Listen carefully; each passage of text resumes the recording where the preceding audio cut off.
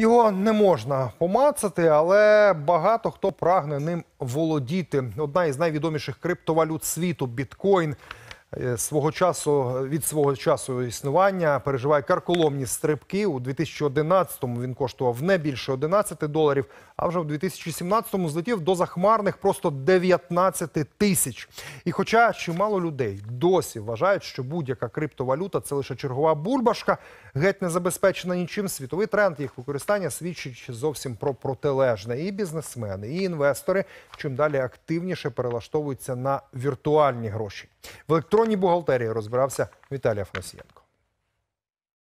Біткоін давно став звичними грішми, а в деяких країнах його обмін давно не анонімний і навіть звичний для всіх. Наприклад, у Японії цінники у біткоїнах у багатьох магазинах дублюють національну валюту.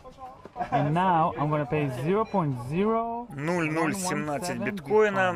Так, сканую код. Вау, не думав, що це так швидко.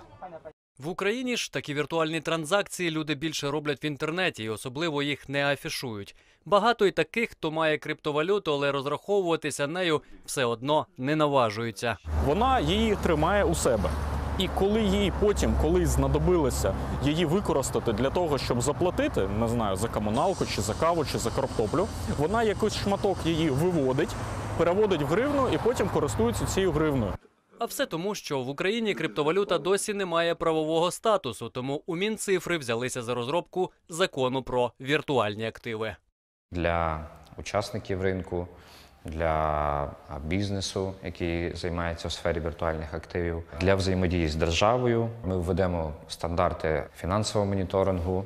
Ну, по суті, виведемо ринок в правове поле. У законі будуть прописані чіткі правила гри, кажуть у Мінцифри. Це зацікавить і українських, і іноземних криптоінвесторів.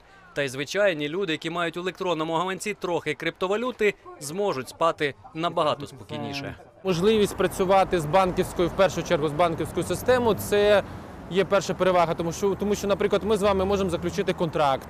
Я можу використовувати якісь сторонні сервіси, які дають мені юридичні гарантії, обов'язки в контексті е, послуг, і у випадку чого е, воно може йти моїм нащадкам.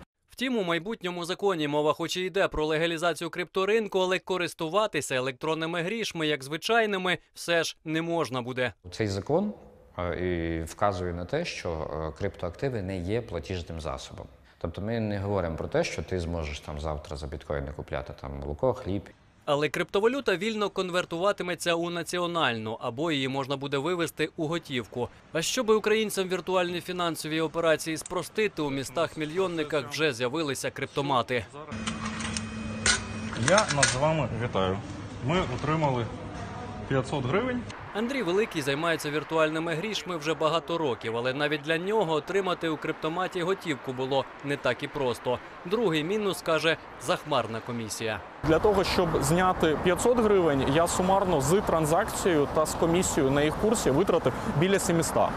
Тільки но ухвалять законопроект про віртуальні активи у податковому кодексі внесуть зміни і під них. Попередньо йдеться про 5% податку. Тому до тих 700 гривень треба додати іще 25. Але криптоінвестори наповнювати бюджет не проти. Натомість чекають, що законопроект захистить їхні статки від невиправданих податкових облав та конфіскації. Віталій Фанасієнко, Андрій Вєтушкін, Дмитро Панасенко, спецкор 2+,2.